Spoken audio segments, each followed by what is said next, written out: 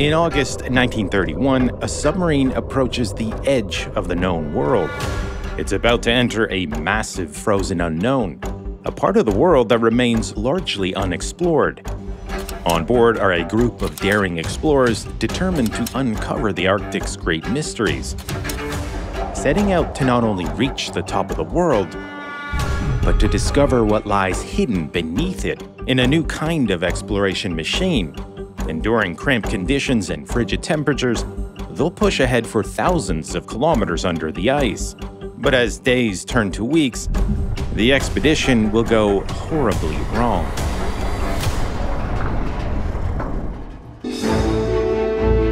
For centuries, explorers tried repeatedly to reach the top of the world. At first, they used ships battling frigid temperatures and treacherous sea ice. Their vessels often became trapped, stranding crews with little hope of rescue. Later, explorers tried with dog sleds or even on foot, often ending tragically. Over the centuries, hundreds of explorers perished. So challenging was the Arctic that the first undisputed discovery of the North Pole wasn't until 1926, and it was only from the air, in a modified airship that never even touched the ground. So, when accomplished explorer Sir Hubert Wilkins planned to set foot on the North Pole, he was convinced there was a better way to do it. The North Pole doesn't lie on a continental landmass like the South Pole. Instead, it's located in the middle of the Arctic Ocean, amid waters almost always covered in ice. Wilkins was convinced that a submarine would be the ultimate way to reach the North Pole, and fitted with the latest scientific equipment, it could help solve the Arctic's great mysteries. Wilkins would set off in the summer, first sailing across the Atlantic, then all the way up to the Arctic Circle. From there, his expedition would head west, spanning over 3,000 kilometers. Over six weeks, he'd zigzag underneath the ice, emerging from the deep through any openings, before finally ending in Alaska. To fund the expedition, Wilkins put up his own savings and raised money from wherever he could. He lectured day and night, and even wrote a book outlining his ambitious plans. But it still wasn't enough. He'd need serious backing and one sure way to get it was to turn his scientific pursuit into a media sensation. A voyage under the ice was the kind of thing that would sell out newspapers. So Wilkins made a deal with newspaper magnate William Randolph Hearst, a man with a flair for sensationalism. Hearst would get exclusive publishing rights, and Wilkins would get his funding. And to create even more buzz, Hearst orchestrated for Wilkins to meet up at the pole with a second expedition. The massive airship Graf Zeppelin would fly overhead just as Wilkins emerged from the ice, captivating the public with headlines of the pole being conquered from above and below. If he could pull off the stunt, Hearst offered Wilkins a $150,000 prize. All that was left was to find a submarine. Wilkins planned to reach the North Pole in the Nautilus, a retired World War I era tech sub that had been heavily modified by renowned naval architect Simon Lake. And it would have to do what no submarine had ever done before. The voyage would be fraught with danger, including the risk of a collision with the sea ice. So Lake reinforced the Nautilus's bow with heavy steel plates and concrete and added a hydraulic impact absorber to soften the blow. But the ice above could also prove deadly, so Lake fitted the topside with sledge runners, which would allow it to slide along the bottom of the ice, much like a toboggan. A hydraulic retractable guide arm would also keep a safe distance from the hazards above. The Nautilus could be confined under the ice for days at a time, but it would eventually need to surface to take on air and recharge its batteries. A lack of openings in the ice could doom the crew. So Lake innovated a series of drills capable of boring through the ice, allowing the Nautilus's crew to drill through up to 20 feet to reach the surface. In place of the original torpedo tubes, Lake added a pressurized diving chamber, where the crew could lower instruments to the ocean floor or conduct dives. In all, Simon Lake made dozens of modifications. Originally built for World War I, the Nautilus would now have to battle Mother Nature. On March 16, 1931, as the expedition prepared to set off, Wilkins put on a brave face for reporters. Men are just having things on board now for the uh, final inspection before leaving the dockyard. We expect in about six or eight months to have made the trip 2,000 miles under the ice, starting from Spitzbergen somewhere about the 1st of July. But deep down, Wilkins was worried. He feared many of the sub's novel features were unnecessary, even dangerous. He had reservations about the sledge runners, the ice drills, and the shock absorber, which he worried would actually lodge itself into the ice, trapping the Nautilus beneath the surface. Wilkins insisted on installing a photosensitive electrical cell to measure the thickness of the ice above so he'd know where to surface, but Simon Lake denied the request. The Nautilus was Lake's submarine. He's the one who leased it from the US Navy, and he had the final word on any modifications. Wilkins merely subchartered it for the expedition. There was little he could do but accept the submarine as it was. But the Wonder Gadgets would cause headaches before the expedition even began, repeatedly forcing the sub back into port for repairs. It was one thing to invent novel features, trying to retrofit them onto a tired old sub created all kinds of issues. Confirming Wilkins's worst fears, the ice drills didn't even work during testing, and a separate engineering firm was called in to try to figure it all out. The weeks turned into months, and Wilkins was beginning to feel the pressure. If the Nautilus was to meet the Graf Zeppelin at the North Pole, time was of the essence. Otherwise, Wilkins would lose out on Hearst's prize money. By June, Wilkins had had enough. Mechanical issues be damned, it was time to get going. The journey across the Atlantic was grueling. The tiny sub was easily tossed around by fierce North Atlantic storms. The crew were also beginning to learn just how uncomfortable the Nautilus was. The submarine was cramped and claustrophobic to begin with. Now loaded up for the expedition, there was even less space. For 20 men, there was just a single toilet out in the open between two roaring diesel engines. The crew would have to spend their entire day standing because there wasn't anywhere to sit. Only a handful of bunks shared amongst the men provided any relief. Wilkins sent Hearst daily radio updates documenting the harrowing journey. This morning, an extra heavy wave swept the decks and carried away the screen before the bridge. Nearly everyone aboard was seasick, and when the Nautilus's bilge pump failed, sewage, oil, and vomit began to swill around the crew's feet. But as the tiny sub battled the fierce Atlantic, things only got worse. The fourth cylinder of our starboard engine is badly cracked.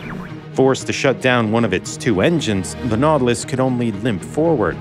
On June 13th, a week into the journey, the Nautilus stopped sending radio updates and for several days, no one had any idea about the fate of the sub and its crew.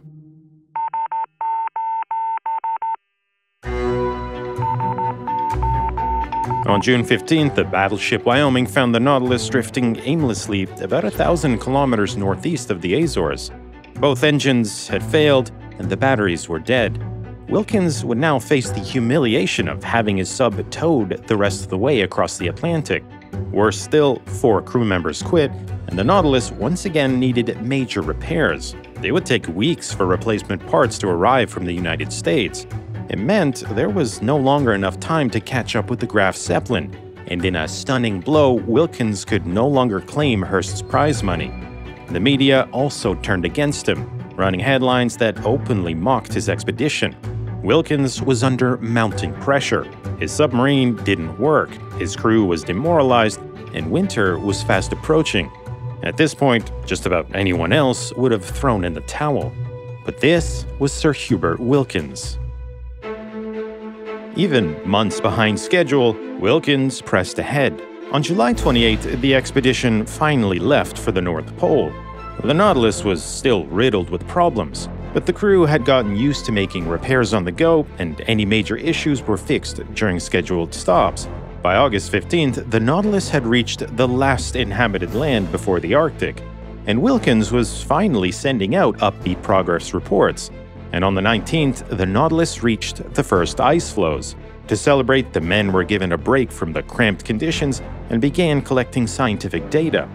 Back home, Hearst relayed fascinating new discoveries, like a warmer layer of water deep below the surface, thought to be vital for predicting weather. After traveling a week in the ice, the Nautilus reached 82 degrees north, further than any vessel had ever made it under its own power. It looked like Wilkins would actually do it. He would travel a thousand kilometers under the ice. But as the world read about Wilkins' achievements, on board the Nautilus things were not as they seemed. Wilkins had once again merely put on a brave face. In reality, the crew were exhausted and freezing. The Nautilus had no heat or insulation.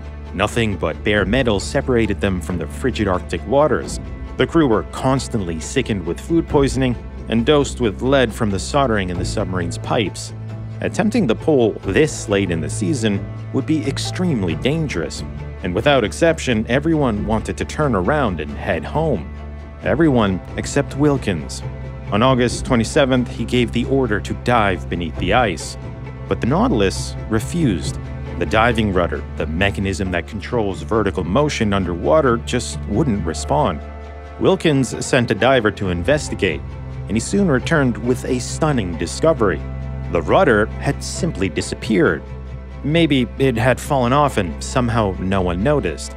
Or maybe, as Wilkins suspected, the crew had sabotaged the sub in an attempt to end the expedition. By this point, even Hearst was publicly urging Wilkins to return home. But again, things weren't what they seemed. In a private message, the Hearst Corporation pressured Wilkins to continue to the pole, reminding him of their agreement. And that left Wilkins with an impossible decision return home to certain failure and financial ruin, or press on and risk the lives of the crew. On August 31st, Wilkins ordered the ballast tanks flooded and trim set 2 degrees down. He would force the Nautilus to submerge by ramming it under the ice. The sound of the sledge runner scraping against the ice reverberated right through the superstructure, as if the Nautilus was being torn apart. It's as though Wilkins had lost his mind. He couldn't possibly reach the pole in the crippled sub. But faced with an endless string of setbacks, Wilkins seemed determined to prove a point. They pushed on for several kilometers before Wilkins ordered a test of the ice drills. For hours, the crew tried in vain to bore through just a few feet of ice. Each time, Simon Lake's patented drill would only go so far before jamming. It was hopeless, on September 6th, Wilkins finally sent out the radio transmission that, by now, everyone was hoping for. Our Arctic trip is over. Wilkins had taken the Nautilus where no submarine had ever gone before. But it would be another three decades before anyone successfully traversed the Arctic underneath the ice. Sharing the same name, the nuclear powered USS Nautilus could stay submerged for weeks at a time. It made its first polar crossing in 1958, returning home to huge fanfare. By that point, Wilkins' attempt had long been forgotten. The original Nautilus now lies sunk on the ocean floor off the coast of Norway. After the crew returned from the Arctic, the sub was deemed too worn and damaged to be worth saving, and it was deliberately sunk. Prior to the Nautilus expedition, Wilkins was considered amongst the greatest explorers of the 20th century, having made immense contributions to our understanding of the North and South Poles. But his final expedition left him financially ruined and largely forgotten by history. After passing away at the age of 70, Wilkins's final wishes were fulfilled when the crew of the USS Skate scattered his ashes at the North Pole.